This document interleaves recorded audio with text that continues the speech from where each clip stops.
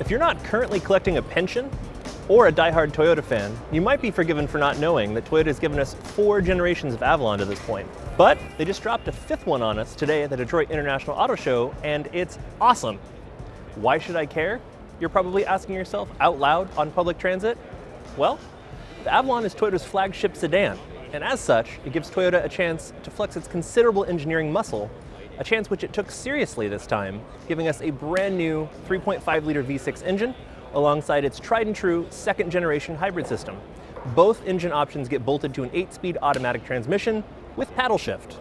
The design of the new Avalon could best be described as daring, but less charitable souls might refer to it as busy. But here's the thing it ditches all of the blandness of previous generations, and we like that.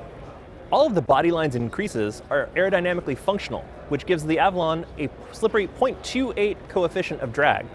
The Avalon also gets super advanced lighting using something called laser ablation technology, which gives the daytime running lights and taillights kind of a cool look. The outside is good, but it's inside where things get really saucy. The limited trim level specifically has not just one of the best interiors in the segment, but one of the best interiors in the business. And it's a lot like the Lexus LC500 that we saw last year. The inside is covered in lashings of beautifully perforated and quilted leather, and something called Yamaha wood, which we can only assume is made out of old keytars. The Avalon's cabin tech also gets a big upgrade.